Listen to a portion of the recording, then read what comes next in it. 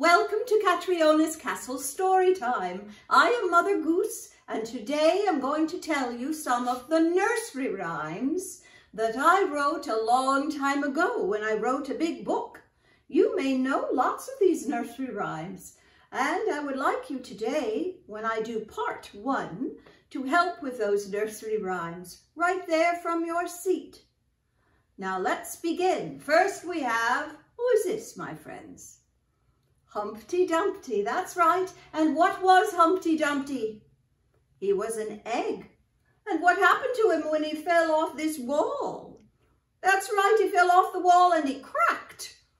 And all the king's horses, you can be the king's horses, and all the king's men, you can salute like his men, couldn't put Humpty together again. Now let's begin and say it together and you can act it out too. Are you ready? Humpty Dumpty sat on the wall. Humpty Dumpty had a great fall.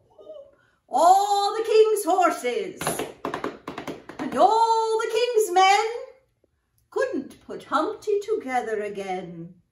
And that's the end of that one, but ours is still fine, aren't you, Humpty Dumpty? You're still all right. Now our next nursery rhyme, and I think you'll know this one too, is about a king. And this is his crown, and this is his scepter. Now a scepter, my friends, is a wand a king will use to reign over the kingdom.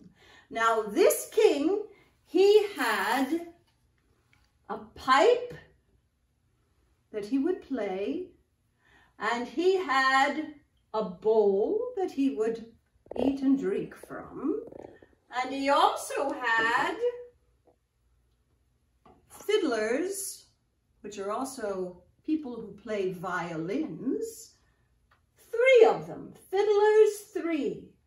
Now this fiddle, and it's again, it's like a violin, was played with something called a bow. And a bow is a kind of a stick that goes right over these strings here and makes a sound. And you, my friends, when we talk about this one and say this one together, you can help play the fiddle. Pretend you have one in your arm, down your arm, under your chin, and take your other hand and go across like you're playing the strings. And when we say he called for his pipe, you can play the pipe when we say he called for his bowl, you can hold up that bowl and fiddlers three, and that's when you will play your fiddle. Are you ready? All right. Old King Cole was a merry old soul, and a merry old soul was he. He called for his pipe, and he called for his bowl, and he called for his fiddlers three. All right, my friends, play your fiddles. Well done. All right, we'll put this one over here. Oh, and down here, my friends, who do you think this is? This is little Goosey. And Goosey likes to listen to all of our nursery rhymes. I mean, I am Mother Goose, and this is my pet goose, little new, little Goosey, and she will listen to you. Now, the next one we're going to do is called Old Mother Hubbard. She's called old, sort of like I am. Old Mother Hubbard. And she went somewhere. Where did she go? She went to this, the cupboard, like your kitchen cupboard. And what was she going to do? She was going to get or fetch her poor dog, what? That's right, a bone. But when she got there, oh, the cupboard was bare. That means there's nothing in it and her poor dog had none, and her doggie was sad. Hopefully she'll be able to get him a bone another time. All right, now let's say it. Now, if you're a little puppy dog and you wanted to beg for a bone, put your paws up and go, arr, arr, arr. Now, if you don't get a bone and you're sad, you're a sad puppy dog and you're going to whimper, you're going, can you do that? All right, let's begin. Old Mother Hubbard went to the cupboard to fetch her poor dog a bone. But when she got there, oh, the cupboard was bare, and so her poor dog had none. Now, do you know what? The next day, I think old Mother Hubbard went and she got her dog a little bone. And then it was a happy puppy dog again. All right, now we're going to do another one. The next one we're going to do is Little Miss Muffet. This is one of my favorites. Now, Little Miss Muffet, little girl, she sat on what? A tuffet. And my friends, a tuffet can be two different things. Sometimes a tuffet, it's always a little mound of some sort. It's either a little cushion, and sometimes a tuffet is like a little cushion hill of grass in a meadow. But we'll do it today as a little cushion. Now, little Miss Muffet was, what was she doing? She was eating her curds and whey. Do you know what curds and whey? Do you know what they are, my friends? It's kind of like a cross between oatmeal and cottage cheese. Curds and whey, and she was eating them. In the olden days, I used to eat them a lot. But then what happened? A spider came by. Now this spider, my friends, that we will use today, I would never hold a big spider like this, but this is a puppet. And this puppet can come down just like that and you with your hands can pretend you are the spider to sit down beside her. And what happened? It frightened Miss Muffet away. Are you ready? All right. Let's begin. Little Miss Muffet sat on a tuffet, eating her curds and whey.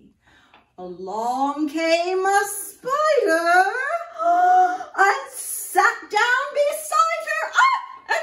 and Miss Muffet away. And she threw the bowl and she threw the spoon and off she went. well done.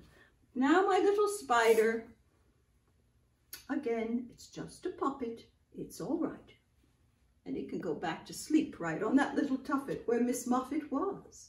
All right, our next one, and I know you know this one, is going to be Jack and Jill. Now, can you look around here and see if you know something you think they'll need? What do you think?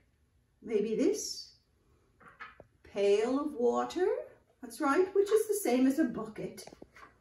Jack and Jill, where'd they go? They went up a hill. And what were they doing? To fetch a pail of water. They had the pail, but they needed to get the water to put in the pail. And then what happened? Jack fell down and broke his what? His crown. That's part of his head. And Jill came tumbling after. So you can help with this one. We'll hold the bucket. Jack would hold one side and Jill would hold the other. Jack and Jill went up the hill to fetch a pail of water. Jack fell down and broke his crown and Jill came tumbling after. And I bet all the water came out of that pail too. All right, that's a good one. That's one of my favorites too. Put that right up there. Now, we have another one about a little mouse, my friends. Do you know who this is? Hickory dickory dock. The mouse ran up a what? A clock. The clock struck one. All of you be the clock. Put your hands like this, like your clock. Go boom. The mouse ran down. Hickory dickory dock. Are you ready? All right. Hickory dickory dock. The mouse ran up the clock. The clock struck one. Boom. The mouse ran down, hickory dickory dock. Hello, little mouse. and our last one we're going to do, this one's called Jack Be Nimble. Now, Jack be nimble, Jack be quick. Jack jump over the candlestick. Now, my friends, if you see a candlestick, that's not the candle part. That's the part that holds the candle. That's the candlestick. That's the candle. Now, normally people would not jump over a candlestick. That might not be very safe, but it's fun to just practice jumping. So you can all try to jump. Jack be nimble, Jack be quick, Jack jump over the candlestick. Do it again. Jack be nimble, Jack be quick, Jack jump over the candlestick. And that's the last one we're going to do for this set. And then we're going to do part two another time. So thank you, my friends, for coming and visiting Catriona's Castle Story Time. And I again am Mother Goose. And goodbye, my friends, to next time.